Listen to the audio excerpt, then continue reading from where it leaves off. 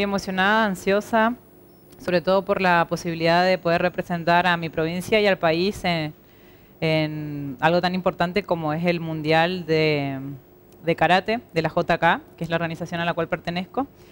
Y bueno, súper contenta por, por poder volver a portar la celeste y blanca. Bueno, me imagino que, que tiene una responsabilidad extra, no solamente representás a, a la provincia, como decías, sino que también al país. Claro, sí.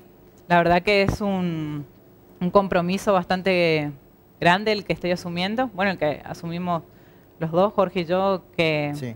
que vamos, que somos de la provincia y que fuimos convocados a representar al país en conjunto con otros chicos que, de diferentes provincias. Bueno, Jorge, si bien tiene más experiencia compitiendo que yo, yo hace siete años que practico karate. En el 2016 empecé a competir a nivel, eh, a nivel internacional y la verdad que es una responsabilidad, mucha ansiedad, eh, muchos nervios también por, por la magnitud del evento. Si bien todavía falta mucho, pero ¿cómo te llega la oportunidad del Mundial a vos? Eh, ¿Cómo fue el proceso Sí, por ¿cómo- el cual Sí, sí. Bueno, si bien en el proceso de selección tienen en cuenta nuestro, nuestro, nuestras competencias pasadas, eh, el proceso de selección consta de un torneo, el cual no es un torneo convencional, sino que eh, nos toca, a mí particularmente, que hago lo que es kumite, que sería la parte de lucha, nos toca hacer diferentes, diferentes kumites, diferentes luchas con eh, todas las, las chicas, en mi caso, que eh, se postulan para formar parte de la selección y del equipo argentino. Decía que, comenzaste de, de grande. ¿Cómo se te ocurrió? ¿Cómo llega el deporte a, tu vida? Bueno, yo empecé porque mi familia eh, hacía karate. Mi mamá particularmente en su juventud practicaba karate. Si bien de grande eh, se alejó, eh, siempre estuvo, eso, el karate formó parte de lo que es mi familia y ellos fueron los que me motivaron y me insistieron en que empezara. Primero la verdad que no, no me llamaba mucho la atención, pero eh, desde el primer día que empecé traté de ser lo más constante posible. Me llamó muchísimo la actividad, me gustó muchísimo todo lo que es la, la disciplina, el respeto y todos los valores que, que hacen y que forman a, a la actividad en sí. ¿En tus tiempos libres? ¿A qué te dedicas? ¿Qué haces? Eh, yo trabajo, trabajo en el Servicio Penitenciario Provincial eh, y durante la tarde, ahora más que nada, me estoy dedicando a entrenar todo lo que sea la parte física, por un lado, y después todo lo que sea la parte técnica y táctica más orientado a lo que es eh, el karate.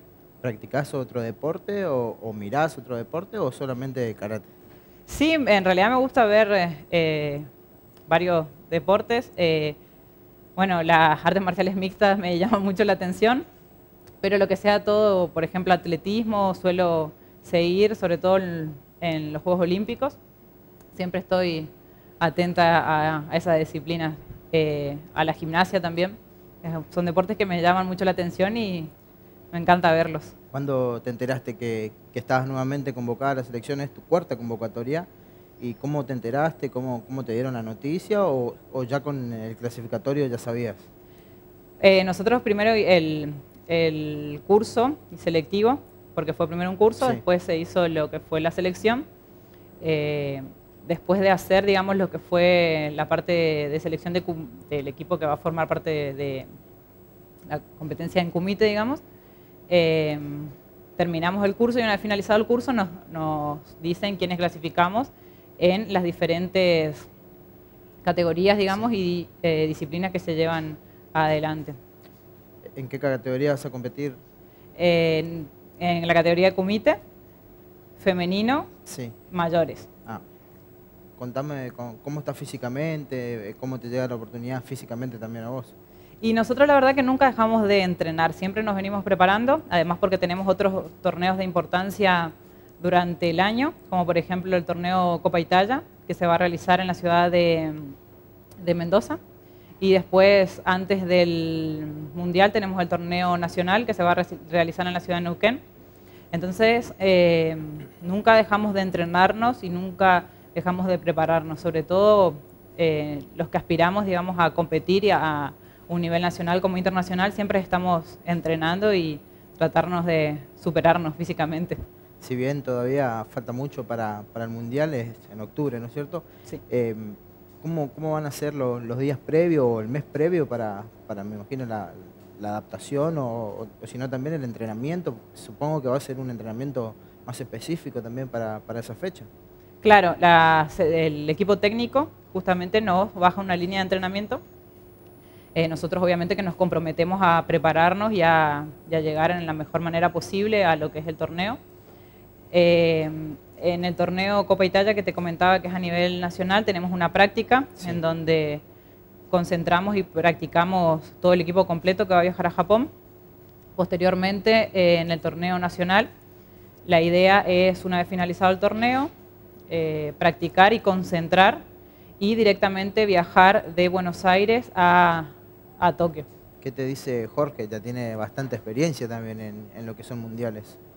Y Jorge está muy contento, yo soy su alumna, así que eh, si bien él ya tiene muchísimos años compitiendo y muchísimos años representando al país, nunca le deja de sorprender y está muy feliz de, de otra oportunidad que se le da y muy comprometido también con, con el equipo. En lo personal, eh, ¿cuál, eh, ¿cuál va a ser tu objetivo en el Mundial? Y siempre mi objetivo es ganar, es dar lo mejor, pero sobre todo poder eh, sumar a lo que es el equipo. Por lo general nosotros, los que clasificamos para Kumite, tenemos la posibilidad de formar parte del equipo de Kumite. Se compite a nivel individual, en donde incluso en, en el transcurso de las competencias individuales, si bien obviamente que nos rozamos con competidores de diferentes países, podemos, de acuerdo a cómo se van dando las llaves, en una etapa avanzada cruzarnos con competidores de nuestro mismo país.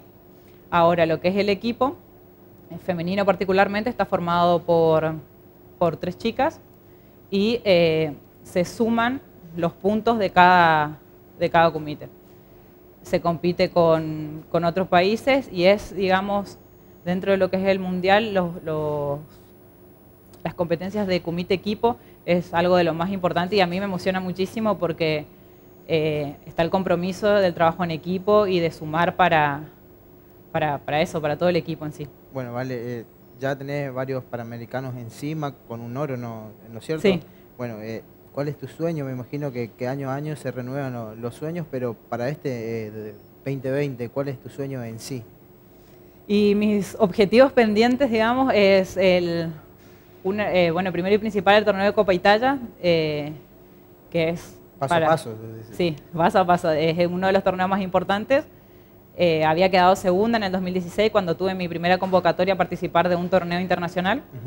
Así que poder alcanzar el oro y poder traer la copa para mi provincia sería lo mejor. bueno, obviamente posteriormente el torneo nacional y poder traer una medalla como que no para, para mi país en el, en el torneo mundial. ¿Y eh, ya el idioma algo en japonés o muy poco? muy poco japonés y más o menos inglés. ¿Y la comida? Y no suelo tener problema con la comida, pero igual veremos. Bueno, vale, la última. ¿Cómo vos que estás eh, constantemente en el deporte, cómo ves eh, el karate en la provincia? El crecimiento, cómo ves el nivel también. Y hay, hay la verdad que históricamente la Federación Misionera de Karate tuvo competidores que a nivel nacional estuvieron muy bien ubicados. Bueno, Jorge es un claro ejemplo de eso, de toda su vida compitiendo y trayendo premios para, para la provincia. También hay competidores históricos. Nuestro sensei, el representante de la Federación Misionera de Karate, es el sensei Atilio Acosta. Y eh, hay un buen semillero, hay un montón de chicos que, tienen un futuro prometedor, juveniles también. Así que la verdad que lo veo muy, muy bien encaminado y ojalá eh, todos tengan la posibilidad de, poder llegar a, representar a, nuestro país. Un mensaje que, le quiera dejar a los misioneros que, se animen también a practicar el deporte, porque por ahí en esta edad también los jóvenes están buscando qué deporte practicar. ¿Por qué no invitarle a, practicar el karate? Sí, cómo que no. Yo eh, siempre le insto a los, a los jóvenes, la verdad que es una disciplina muy linda, igual para los padres que por ahí tienen dudas de qué actividad mandarle a hacer a sus hijos. El karate es algo que le proporciona de muchos valores. Eh, se trabaja mucho con el respeto hacia la otra persona, la superación constante. Eh, Y eh, también es una actividad que la pueden realizar eh, las personas más grandes. Yo empecé de grande y mm, con constancia la verdad que se puede mejorar un montón. Es bueno para mentalmente, es bueno físicamente, contribuye un montón a la salud y sobre todo es el tema de los valores para, para los chicos, para los jóvenes, es algo maravilloso.